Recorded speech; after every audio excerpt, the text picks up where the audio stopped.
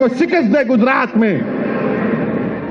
باوجود کہ گجرات کے مسلمانوں سے نا انصافی ہو رہی، ہم اللہ سے دعا کرتے ہیں کہ پروردگار، گجرات میں خاتمہ کر دے فاشست طاقتوں کا۔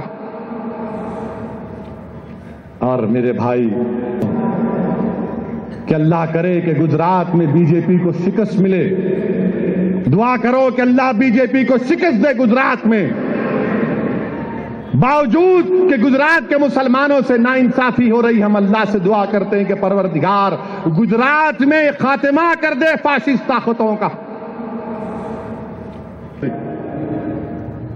میرے بھائی، گجرات میں کوئی پوچھنے والا نہیں ہے۔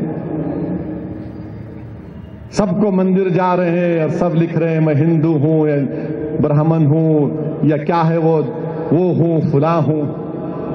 جبکہ سب سے پسماندہ اگر کوئی ہے گجرات میں آدیواسیوں کے بعد تو مسلمان ہے۔ مگر کوئی آواز نہیں ہے۔ پٹیلوں کو ان کا لیڈر مل گیا تو ڈر رہی ہے کانگریس، بی جے پی۔ اوبیسیوں کو ان کا لیڈر مل گیا تو دونوں ڈر رہے ہیں۔ دلتوں کو ان کا لیڈر مل گیا تو دونوں ڈر رہے ہیں۔ کسی کا کوئی لیڈر نہیں ہے تو کون ہے ہم ہی ہیں اور میں یا اکبر یا ممتاز خان، یا احمد پاشا قادری مسلمانوں کے لیڈر نہیں بننا چاہ رہے، آپ بنو۔ مگر مسلمانوں کی آواز، مسلمانوں کے مسائل کی بات کرتے ہیں۔ کوئی پوچھنے والا نہیں۔ گیارہ پرسنٹ مسلمان one eighty two assembly Gujarat کی۔ اور کتنے ایم ایل اے ہیں مسلمانوں کے معلوم آپ کو وہاں پر؟ دو۔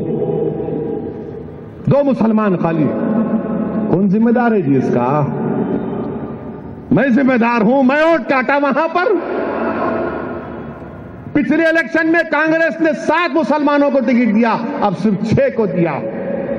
پٹیل گجرات میں تیرہ پرسنٹ ہے تو B J P forty nine پٹیلوں کو دیتی ہے اور کانگریس پینتالیس کو دیتی ہے۔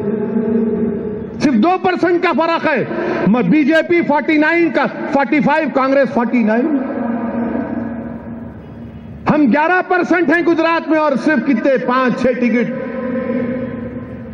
میرے بھائی، یہ فرقہ پرستی نہیں ہے تو کیا ہے؟ بتاؤ آپ۔